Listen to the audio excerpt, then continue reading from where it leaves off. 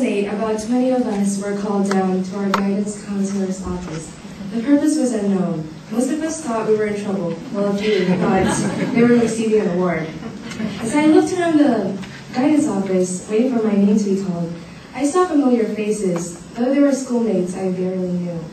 They were known for their intelligence and talents in academics, and knowing that I'm with the top notes of the school, the thought, um, the thought of that I was going to be expelled for being too noisy in class was eliminated. Although my expulsion was, theory was out, I still, I still walked toward Mr. Johnson's office with a rapid pulse and a clenched fist. And as, and as I sat in front of his desk, our beloved guidance counselor looked at me with a smile on his face, like he was about to inform me that I had won a million dollars. He told me that I was in fact a winner, but not a million dollars, unfortunately, but of something of much greater value, free tertiary education. In 2009, in January of 2009, the 14 of us who scored adequately on the PSAT or CPT, sophomores at the time, waited in a spare classroom of our high school, wondering what our teachers, I mean professors, were going to be like. Sure, most of us had taken advanced placement classes in the past, though we knew that college success and psychology were going to be different. And they were different. The level of intellectual expectations from our professors, the way we were taught, made us feel like real college students, which officially we were. At precisely 1.15 p.m., a man, laptop and syllabi in hand, walked in and introduced himself as Professor Milhorn. This man, a college student himself at the time, was going to teach us how to balance courses, finances, and time efficiently. Never experiencing an educator diving into lessons on the first day put us all in a petrified state that entire class. Soon, though, the 50 minutes had passed and we were able to breathe freely again. We all turned to one another and expressed our feelings about Professor Milhorn and college success. After surviving our first college class, we were eager to meet our second professor and discover what he or she had in store for us. The first psychology professor was not there, so we didn't remember much about him. The second day, Professor Milhorn taught for both periods. The third day, we had a new psychology professor. He gave off this friendly vibe that we had not really experienced from our high school teachers. He explained to us that our former psychology professor was to undergo an operation and he was his replacement.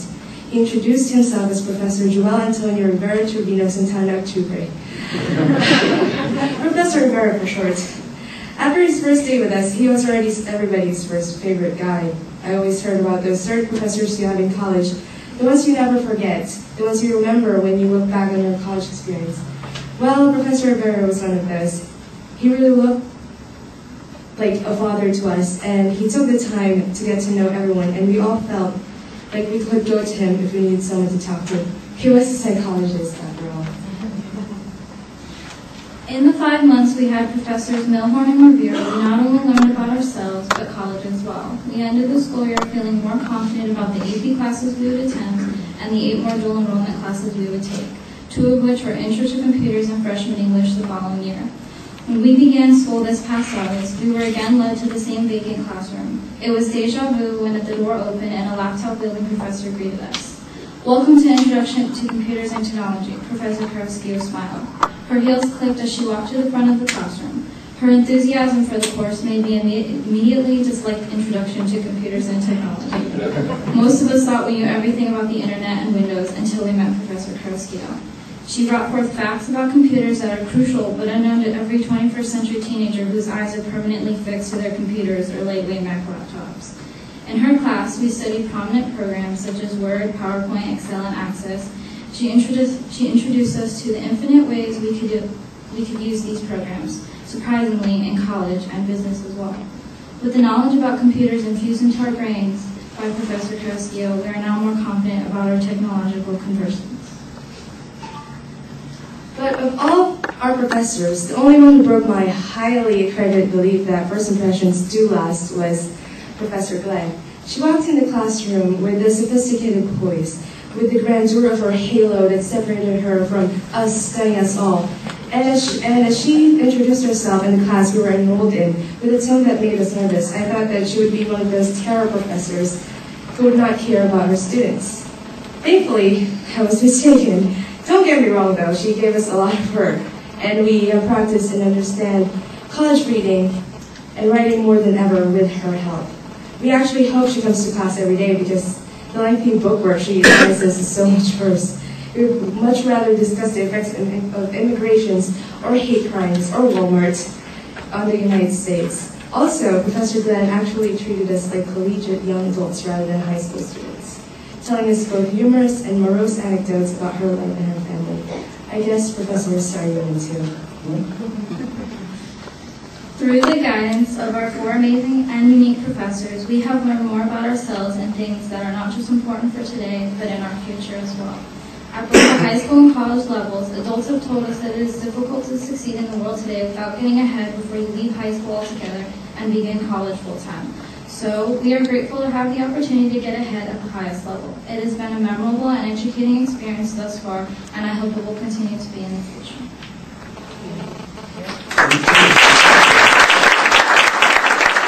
One of our guidance counselors, and uh, I'm glad to see Dr. Witt here beside me as well because uh, this was definitely not a, a, Craig Horstman idea, a Craig Horstman uh, show or anything like that. Going back to the uh, the origins of, of Lennard High School, actually, this this idea of having a college campus right across the street from us had us excited. Uh, lots of ideas already flowing before ground, I think, was officially broken next door across the street, but but I want to give credit to, to those that are not here with us today. Um, Dr. Keith, uh, first president uh, over at HCC South Shore. Dr. Witt, of course.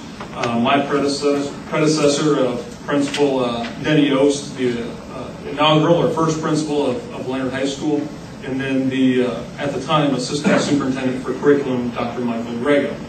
Um, again, this, this was, a, I think, a, process that we all kind of put together, all had a little bit of input, and it came together in, in, in the last uh, two years. It, it, finally you know, came to fruition, and, and, we are seeing the fruits of our labor right now with, with two of the individuals that are our students um, looking to get the next group started here uh, in about a month or so when we, when we return for second semester uh, of this school year.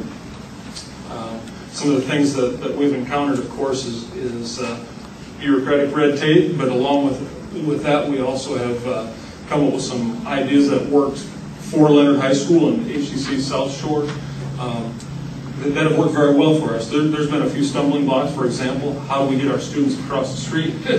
um, originally, we started with uh, a bus driver that was a, an assistant teacher on our campus. Uh, she'd load up the uh, 15 or so students on the bus, drive the 1.5 miles across the street, drop them off, come back to our campus, finish her duties on our campus, go pick them up at the end of the day and make that uh, drive again. Um, at the beginning of the school year, she resigned to become a teacher at a private school, so we lost our bus driver, then we lost our bus. Um, anyway, what we're, what we're working on now is a, a crosswalk on 24th Street between the two campuses. And as we left campus today, the concrete is poured, so we are getting closer and closer uh, every moment. Um, and I know our students are excited about actually taking those classes on the campus and, and being a, a real college student and being there on campus and, and being treated as such.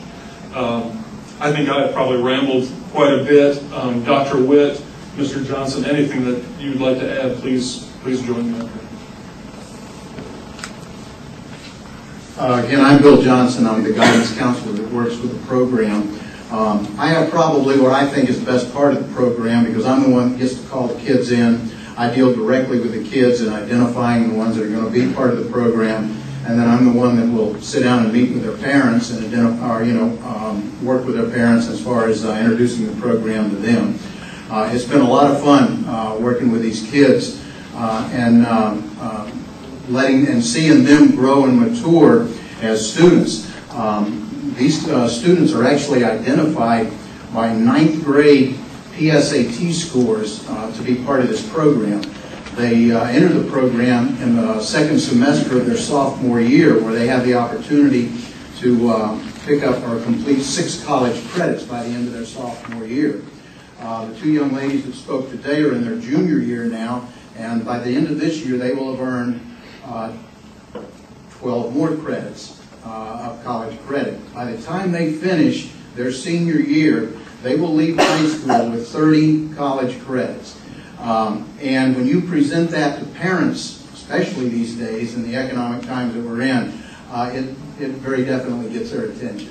Uh, We feel like we've got a tremendous program, um, you know, going with these kids down there. We're getting ready to identify uh, our second group of students, uh, as Mr. Horstman just said. And uh, every year, we will identify a new group of sophomores that will start in the program, and then we will be graduating a group also. And uh, we feel like it's just been a tremendous opportunity for our students, and um, uh, it's been a real, you know, privilege for us to be able to work with, uh, you know, the community college across the street. And if uh, anybody has any questions you'd like to, you know, ask us, we'll try to answer them for you. Yeah, I, I, first of all, intimidated, I know you said you feel so close to me. Um, Yeah, what- what's the accreditation process? Is this, is it college? We- We, it's our, these are our courses and our science accreditation